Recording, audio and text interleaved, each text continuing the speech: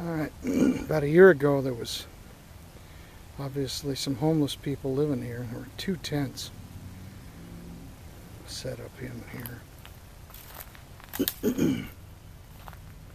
Looks like they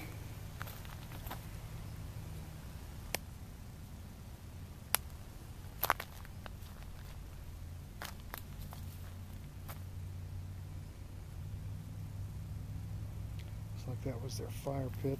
And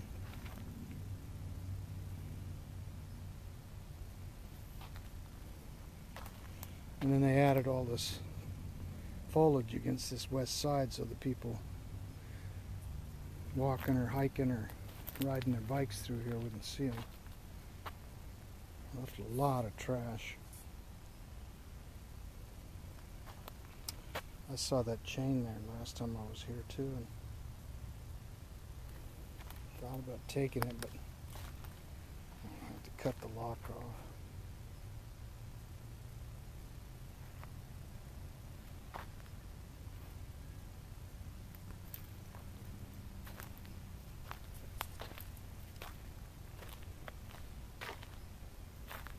And this is the second tent back in here.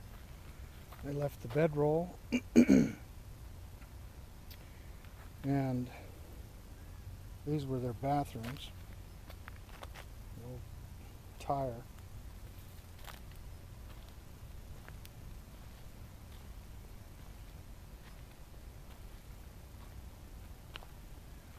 Sure left a pitiful, pitiful looking mess. There's a, there's a mattress in there as well as this bedroll.